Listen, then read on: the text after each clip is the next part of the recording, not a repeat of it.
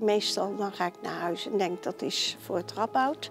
Maar er zijn natuurlijk wel hele ernstige gevallen dat ik, nou, daar denk ik nog wel eens over na. Een tumor geconstateerd en uh, die geeft gewoon te veel pijn. Oh, dat is heftig zeg. Sorry. Ach ja. Al, is het maar, al zijn het maar twee patiënten die ik, eh, voor, ik, eh, voor wie ik iets heb kunnen betekenen, dan, eh, ja, dan ga ik toch met een blij gevoel naar huis. Ja. want daar sta ik hiervoor.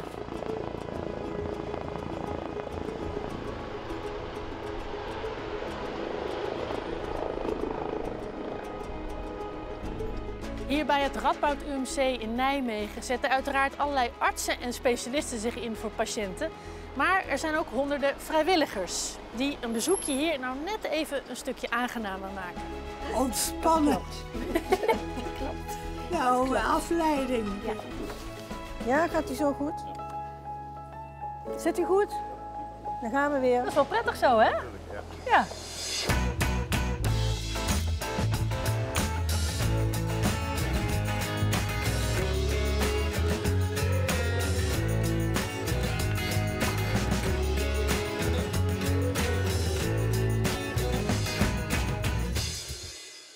Oké. Die ant is maar eenmalige inschrijving. Dank u wel. Kunt u hier op het scherm zien wanneer u aan de beurt bent. Er zijn ook een paar mensen voor u. Ja, dank u wel. Ja, alsjeblieft. Goedemorgen. Dag. Dag Marijke. Marijke. Ben je al druk? Ja, een beetje. Het is, wel, het is nog vrij vroeg, dus het duurt wel eventjes voordat er mensen komen. Maar dat zal wel mee. Dat zal wel goed komen vandaag. Ja. Een vriendelijke ontvangst als je hier binnenkomt met ja, toch een behandeling of iets waarvoor je hier moet zijn. En ben jij de aangewezen persoon om ze welkom Nou, te dat hoop ik. Ik hoop dat die mensen een beetje gerust kan stellen. Dat, ik met een, eh, ja, dat ze een beetje toch een thuisgevoel krijgen in dit ziekenhuis. Goedemorgen, kan ik u misschien helpen? Ja, ik, heb weer, ik moet me inschrijven. Ja, maar deze brief, mevrouw, is niet voor hier. Die is voor op de afdeling waar u moet zijn. Oké, heb ik hier niks aan? aan die, eh, Nee, dat kunt u daar gebruiken waar u moet zijn. Dat is hiernaast Oh, in dit gebouw. Maar u bent een nieuwe patiënt. Ja. Nou, welkom. Je ziet natuurlijk wel aan mensen hun ogen, waarschijnlijk als ze binnenkomen, in wat voor stemming ze zijn. Ja, en ook aan hun manier van lopen. Hoe ze ook, ja, inderdaad aan de ogen waar ze heen kijken, maar ook aan hun manier van lopen. Kun je zien of mensen onzeker zijn. Ja. Of dat ze bang zijn. En speel je daar dan ook op in? Ja, inderdaad, dat gebruik ik wel. Ja. En dat werkt, meestal werkt dat heel goed. En waarom doe je dit eigenlijk? Omdat ik het fijn vind om iets voor een ander te doen die het niet zo goed heeft qua gezondheid als ik. zitten voor... Juist, ja. Lukt dat verder zo? Dan lukt het. Ja hoor. Dan wens ik u een hele fijne dag. Dank u. Je moet hier een hele weg afleggen, hè? Heel Ja, wat meters eh, is wandelen. heel ja. ja, echt, het is echt heel veel lopen.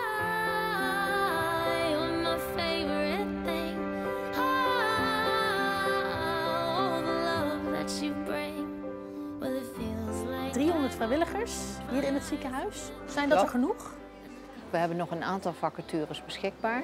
En dan met name vacatures bij eh, welkom en ontvangst van patiënten op polyklinieken en bij ingangen.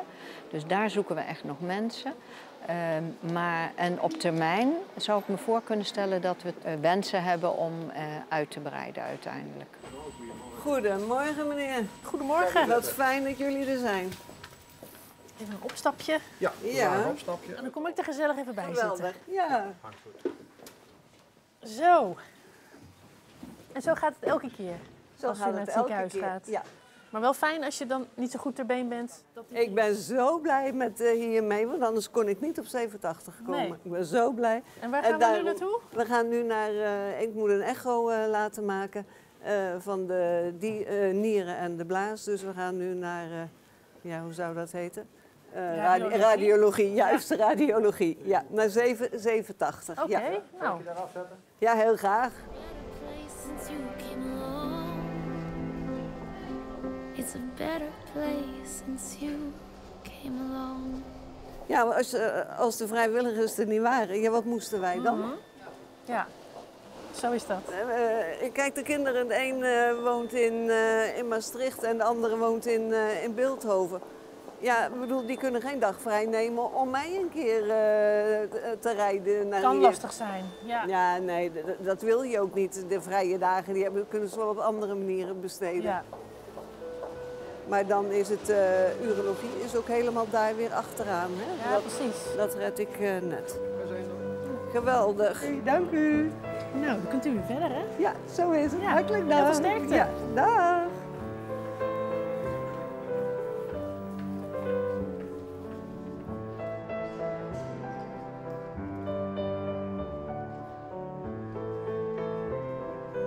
Mirjam, jij bent verantwoordelijk voor de vrijwilligersorganisatie hier in het ziekenhuis. Klopt. Waar worden die dan ingezet? Heel divers. Eh, met name, hè, de hoofdtaak is toch wel de welkom en ontvangst. Daar zetten we vrijwilligers op in. Maar eh, je treft ook vrijwilligers bijvoorbeeld op een OK... waar ze als ouderbegeleider ouders begeleiden. eh, op een spoedeisende hulp waar ze er meer voor de familie zijn. Of op een IC. Dat is echt, Ja. overal kom je ze eigenlijk wel tegen. Ja, op 38 onderdelen worden vrijwilligers ingezet. Zij zijn net de kers op de taart, zo moet je het zien. En zij hebben echt een grote bijdrage in onze missie om persoonsgerichte zorg te bieden aan patiënten en bezoekers. Nou, en dat, eh, daar kunnen wij al met de vrijwilligersorganisatie een eh, stukje aan bijdragen. Ja. Ik denk dat je best heel trots bent op de, Ik ben heel trots op mijn vrijwilligers, ja, dat klopt. Sinds eh 3,5 jaar werk ik eh, op twee afdelingen. Eh, op de afdeling medische oncologie en eh polyoogheelkunde als gastvrouw. Er zijn eh, verschillende taken natuurlijk. Eh, Ontvangen van, eh, van onze patiënten, begeleiden naar een plek waar ze moeten zijn. Maar voornamelijk een ja, luisterende oor bieden aan patiënten. Wij merken heel vaak de patiënten die binnenkomen, zeker een eerste keer. En ook de patiënten die van ver komen, dat die altijd een beetje gespannen zijn. Dan is voor een aantal mensen het Radboud ziekenhuis zo ontzettend groot.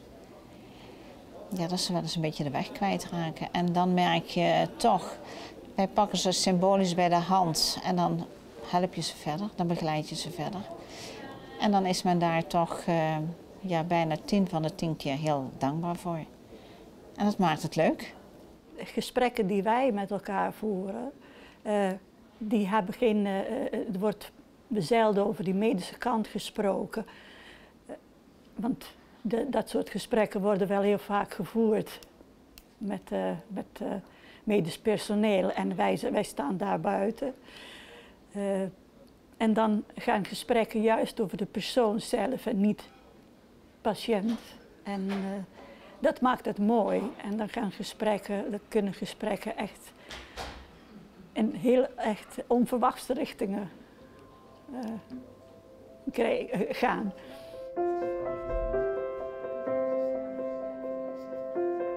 Eén ding is me heel erg bijgebleven. Dus een mevrouw die kwam van de arts af, had heel goed bericht en het lukte haar niet haar partner te bereiken.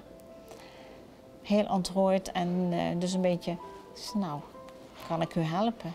Ja, nu ben ik beter, nu kan ik het niet aan mijn man vertellen. Zei, nou, ik zeg, proficiat en maak er een leuke dag van. En toen zei ze, ik ben blij dat je tegengekomen bent. Even de ei kwijt, ja, en weet je, dan is jouw dag ook gewoon goed. Een keertje zat ik in, in een loungeruimte met de patiënt te praten. Het was best druk. Op een gegeven moment werd het steeds rustiger. En ik zat met een eh, mevrouw eh, en haar man te praten. En zij komen uit Limburg. En ik ben buitenlandse, dus het ging over de Nederlandse taal. En we zaten zo ontzettend met elkaar te lachen. En eh, ineens zie je zo'n haan omhoog komen. We, we dachten dat we alleen waren. En toen zei iemand, ik vind het zo gezellig bij jullie. Mag ik me even bij jullie aansluiten? en dat zijn echt momenten die voor mij zo belangrijk zijn om, om te kunnen zien, eh, eh, om eh, een afspraak of, of, of een, om een gesprek heel andere kant op te laten gaan, zodat mensen niet meer aan hun ziekte denken, maar gewoon zichzelf zijn.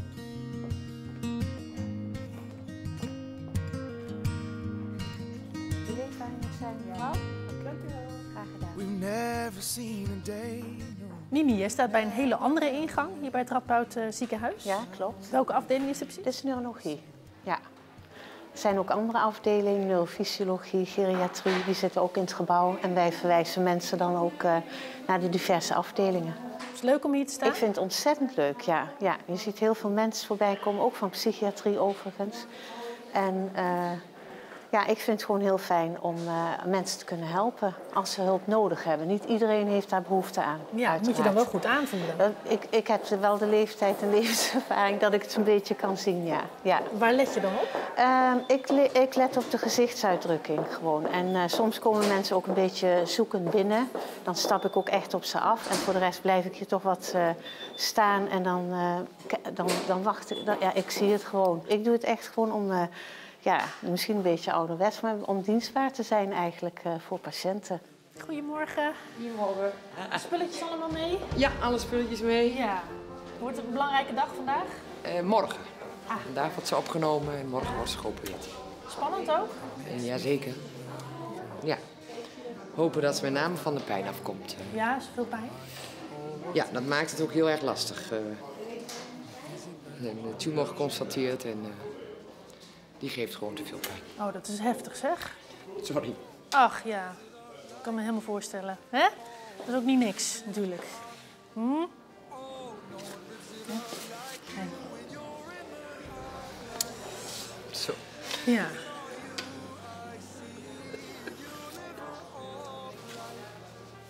Dat is akelig, hè? Ja, ze heeft wat ziekte van piek, dus... Uh... Hm. Dat is het vervelende, hè? Zo hopen, help je elkaar, probeer elkaar toch nog te steunen en te helpen. Ja. Zover als het kan. Ja?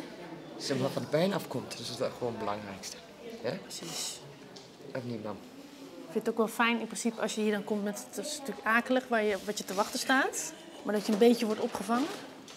Is dat nog, helpt het toch een klein beetje, hoe je hier binnenkomt? Ja, nou weet je, het is allemaal... Uh, uh, ik moet het zeggen, dat pas heel kort het weten. En ik kreeg vanmorgen pas een belletje dat ze moest komen. Daar is iets misgegaan denk ik in de communicatie. Dus het is nu even rennen vliegen. Ja, dat is al een beetje een haast uh, gebeuren. Ja. Ja. Hè, nou. En ik dacht nog wel, ik hou me groot. Hè? Ja, maar dat valt natuurlijk helemaal niet mee dit. Nee. Nee. Dan kan je niet anders dan heel veel sterkte wensen, jullie allebei. Komt goed. Ja.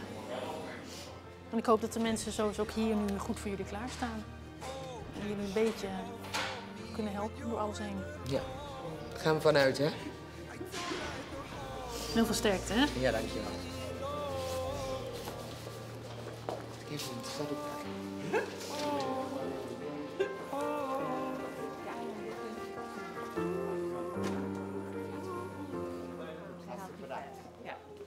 Nou loopt het toch Ja. weer, hè? Ja. Zo is het toch steeds weer. Ja, dat, dat, dat fluctueert nog alles, ja. Maar het maakt niet uit als je maar eh Nou, weg kunt helpen. Ik, eh, soms dan komen er ook heel weinig patiënten. Maar ik denk, eh, al, is het maar, één- al zijn het maar twee patiënten die ik, eh, voor, ik, eh, voor wie ik iets heb kunnen betekenen, dan, eh, ja, dan ga ik toch met een blij gevoel naar huis. Ja. want daar sta ik hiervoor. Ja. En wat is nou precies je motivatie? Want niet iedereen doet dit natuurlijk, hè? Nee, ja. Ik denk dat het. eh, ik vind het gewoon eh, eh, fijn om iets voor een ander te betekenen. Dus misschien is dat wel vanuit mijn opvoeding of vanuit mijn, eh, hoe- ik in elkaar zit, maar zo is dat. Het past bij jou? Het past bij mij, ja. Ja. Ja.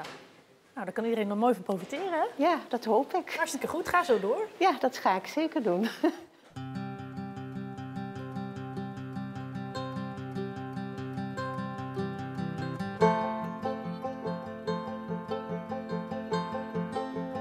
Je hebt geen infuus, hè?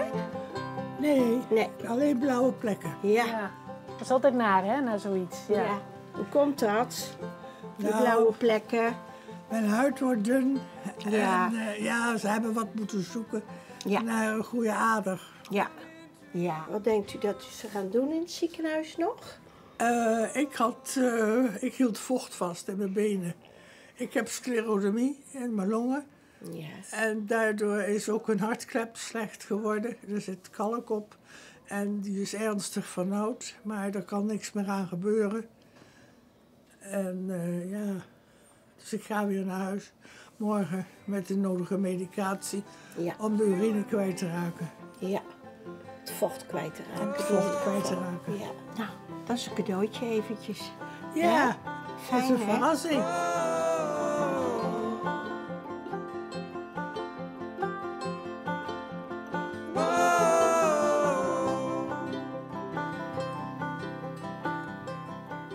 Fijne afleiding, hè, denk ik. Ja, daarom. Het was een verrassing. Ja. Ik voelde me toch al niet zo vet vandaag, want ik had pijn in mijn been. Oh ja? Dus nou, eh, ja, ik vind het wel erg leuk. Voor mensen die opgenomen bij ons eh, zijn, voor die mensen hebben wij ook eh, sinds kort mogen wij handmassage geven. En dat heeft echt eh, zo positief, dat zorgt voor zo positieve reacties. Ja. Dan ga je heel tevreden naar huis.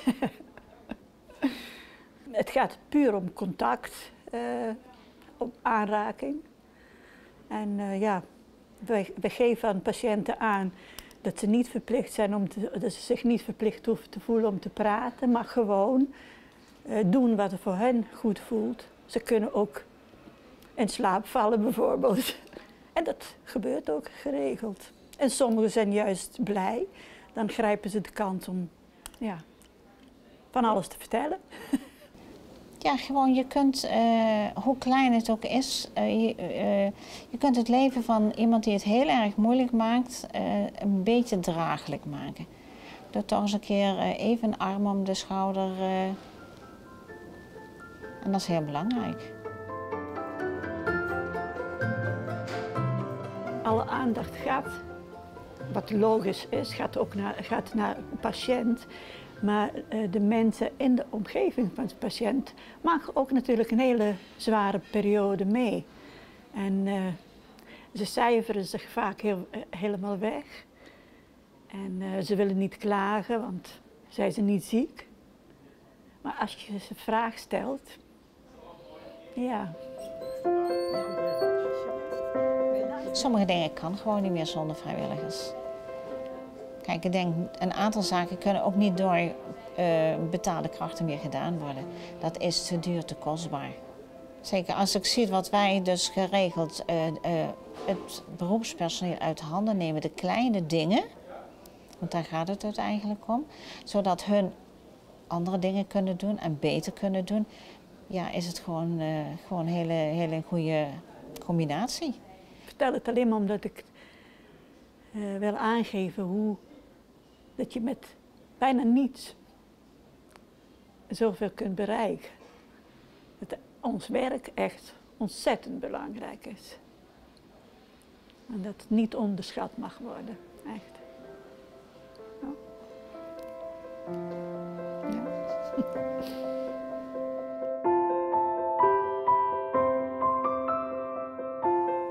Nou is Anneke hier, is een van de vrijwilligers in het ziekenhuis. Wat vindt u er nou van dat mensen zoals Anneke dit soort dingen doen?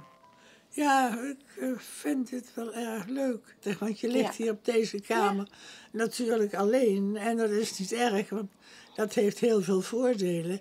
Maar eh, ja, een beetje aanspraak op een gegeven moment. Oh, dit is eh, meer humorvol, zou ik zeggen.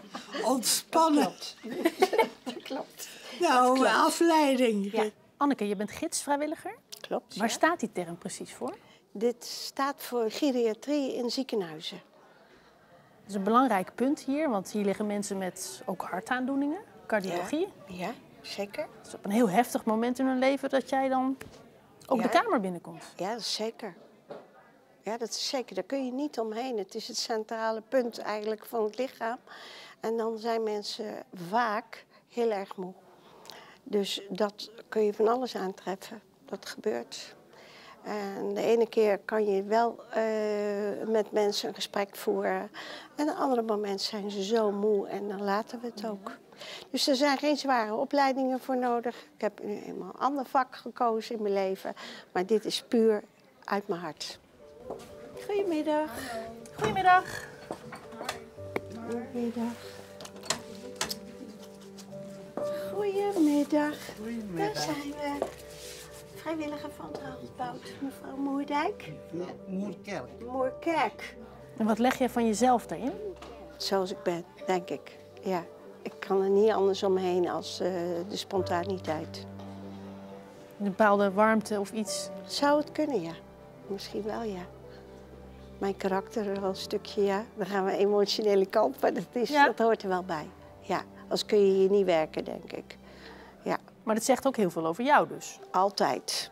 Altijd, dat geloof ik ook, anders zou ik dit werk niet doen. Hoe lang ligt u in het ziekenhuis? Ik van vorige week maandag. Oh ja. Ja. Wat staat jou nog het meeste bij?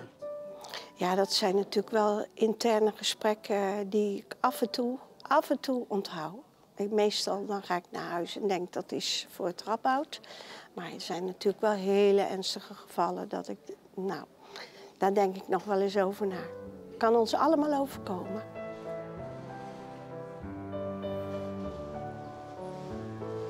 Zo, goedemorgen. Goedemorgen. Nou, daar ga ik heen. Waar kan ik u naartoe brengen? Die kant op alsjeblieft. Die kant heen? Ja. Gaan we doen. Op weg naar de volgende groepje misschien wel wat klaar staat. Ja. Is het druk vaak in het, is, ziekenhuis? eh, het, wij hebben het uh, dinsdagsmorgens altijd eh, redelijk druk. Ja. We rijden constant heen en weer. En de tijd om heel even te zitten, ja, dat is, dat is er nooit dinsdags. Nee. Het is altijd druk. Ja, dat is wel leuk. Maar hier ben je wel in je element, op je eigen kar. Ik ben helemaal in mijn element in deze, ja, met dit werk. Dus heel leuk vrijwilligerswerk. Wat maakt het zo leuk? Het leuke is dat, dat, je, dat, er- dat je iets toevoegt aan eh, zeg maar de gastvrijheid aan de mensen hier. Dus eh, de mensen zijn heel erg blij met het, eh, met het vervoer, omdat ze toch, ja, ze vinden de gangen lang en zijn soms minder mobiel. En, dus dat maakt het, dit allemaal wel aangenamer, het verblijf. Ja. Ja. Kijk. Goedemorgen. Ja, gaat u zo goed? U gaat achterop zitten. Allemaal zo? Zit u goed? Dan gaan we weer. Dat is wel prettig zo, hè? Ja. En waarom vind je het zo belangrijk om dit te doen? Het is belangrijk omdat je de mensen iets kunt bieden. En, eh, en, en het, is, het is voor mezelf, eh, ik, ik, ik doe dan alleen nog vrijwilligerswerk, heb geen betaald werk. Maar dan is dit eh, eh, heel fijn om voor mensen te doen. En dan maakt het eh, voor de mensen, eh, ja, ze krijgen een stukje rust. Ja. En dan hoef je eigenlijk niet meer te werken. En dan denk je van, nou ga ik me inzetten als vrijwilliger. Ja, ik wilde weer eh, bij een organisatie horen. Want als je in één keer thuis komt te zitten, dat is... ja, dus ik denk, ik wil gewoon wat doen. Ik wil erbij horen. Ja. Nou, en ik heb hier mijn plaatsje heel erg gevonden. Dus ik ben heel blij dat ik dit werk mag doen. Nou, dan zijn we bij de hoofdingang. Dus dan gaan we hier zo stoppen, meneer en mevrouw. En dan laat ik u even uit. Ik was op van de zenuwen. Dat is ook begrijpelijk, hè? Ja, ik was op van de zenuwen, echt Ja. wel. Ja. Ja, want als ik zo, als ik dat niet wil en ik ga naar huis, dan ben ik zo dood. Nee, dat gaan we niet doen. Ja, U bent hier goed bewaard, mevrouw. Dus Ja, eh, ja, ze gaan daarom. u helpen.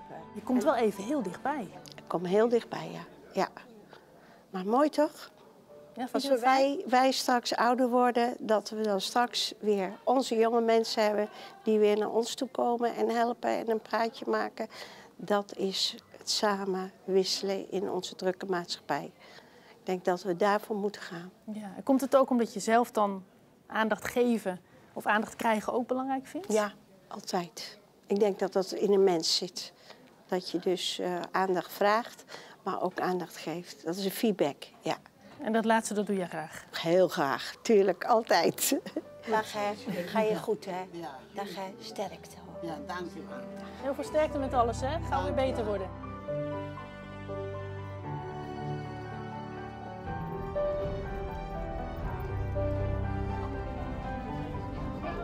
Het ziekenhuis hier kan eigenlijk niet zonder.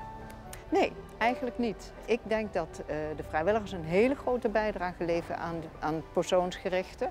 En eh, in mijn optiek zou het een enorm gemis zijn als we geen vrijwilligers meer hebben.